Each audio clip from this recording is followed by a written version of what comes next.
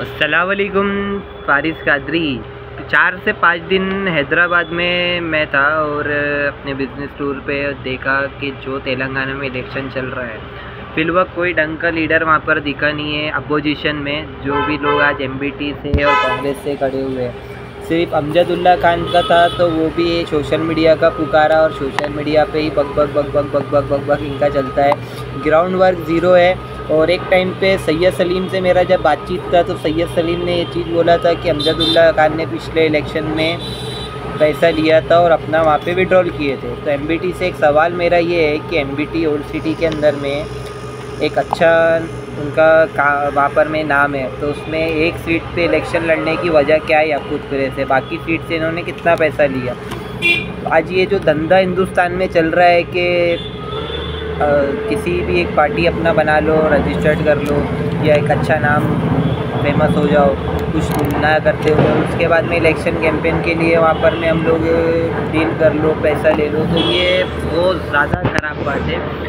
और एमबीटी से सवाल यही है मेरा, अमजदुल्ला खान से कि एक बार इतनी कस्में खाते, एक बार फारिस कादरी और तेलंगाना की जनता के लिए एक और कसम खा दो, अल्लाह रसूल की, आपके मरूम वालिद साहब जो थे कंडक्टर हमारे अमानुल्ला खान साहब एक टाइम पे उनका पंचर का भी काम था तो उनकी कसम खाकर एक बार बोल दो कि इलेक्शन में उन्होंने कोई पैसा नहीं लिया है।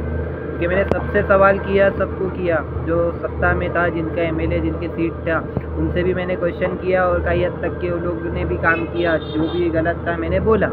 तो अभी एम वाले सोशल मीडिया पे कब तक इनका पुकारा रहता और कब तक बड़ी बड़ी बातें रहती है? पिछले इतने सालों में चार से पाँच इलेक्शन गए, बीस सालों के अंदर में। ग्राउंड पे इन्होंने क्या काम करवाए, क्या गवर्नमेंट से लड़के ये लोग करवाए?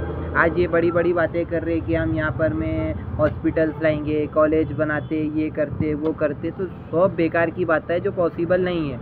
एक मामूली सा रोड भी आपने गवर्नमेंट से लड़के नहीं बना पाए तो आप एमएलए बनने के बाद में भी कुछ नहीं कर पाओगे। ये बिल्कुल सही बात है। क्योंकि आप एमएलए एक सिंगल रहोगे, अगर जीत भी गए मेजोरिटी तो आपकी रहेगी नहीं।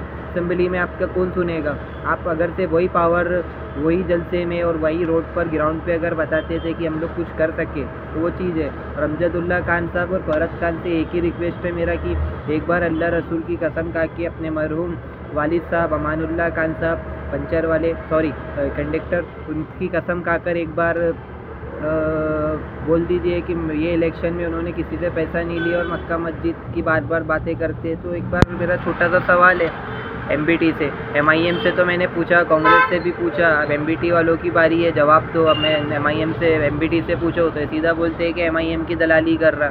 तो एम वालों से सवाल पूछा तो आप लोगों के कान बड़े खुश हुए थे। अब आपकी बारी है। मैं तो इलेक्शन से पहले भी पूछा था। तो अल्लाह के वास्ते आपको अल्लाह वास्ता और आपके मरूम वाली साहब कंडक्टर अमानुल्ला खान साहब का वास्ता, एक बार आप मेरे को उस चीज़ का जवाब दो। अल्लाह हाफिज़।